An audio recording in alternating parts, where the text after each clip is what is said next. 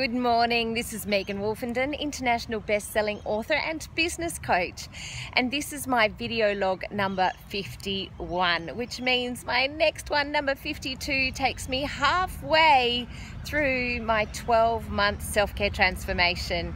And so here I am in front of the hospital. I had actually done a video in this spot once before in this uh, the last 52 videos. So I'll tell you the story in a moment, but what I thought I would do is I would make this um, number 51 the one before the celebration. This is going to be the one where I get down and honest and tell you the things that haven't gone to plan because there are lots of people recovering from cancer, illness, and other trauma out there, and I don't want to make sound like everything's gone perfectly. Um, of course, things go wrong, things are slower than you expect, the whole bit. So, this one is not a whinge, it is simply to state what hasn't gone to plan.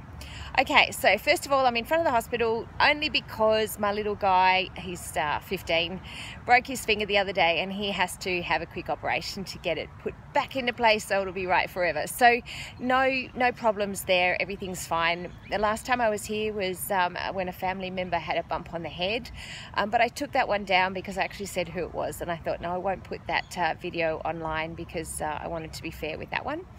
Now, what hasn't gone to plan? Things like this and then less important things get in the way of my exercise sometimes. Sometimes I have an excuse as to why I haven't exercised and so I haven't done as much exercise as I think I should have. So that's number one. Number two, I've actually put on a couple of kilos since my eight week challenge at the gym and that is frustrating me no end. I'm really quite hungry and um, I am writing down everything I'm eating and all the exercise that I'm doing and all the steps that I'm doing but for some reason my body wants to um, retain. So that's been really frustrating. I'll give you the results of the um, six months so far uh, and my next video um, the next thing is that my peripheral neuropathy, the, the, the, nerve pain, has actually come back with the cold weather. And the doctor had told me that it would go away with the warm weather. I didn't know it would come back. And so that means that when I get up in the morning, sometimes just standing up can be very, very painful.